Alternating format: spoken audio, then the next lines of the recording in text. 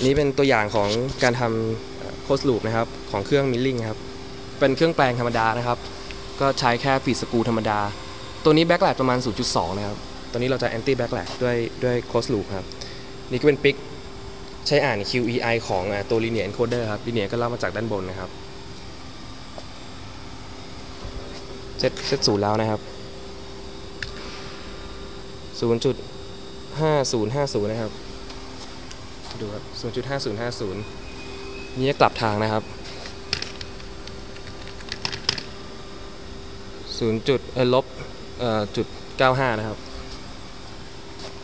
เออลบจุด95 ครับ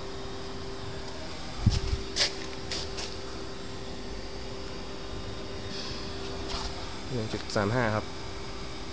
ครับ อันนี้เป็นเป็นตัวอย่างง่ายๆครับ แต่ว่าใช้จริงยังไม่ได้นะครับ เดี๋ยวรอตอนต่อไปครับ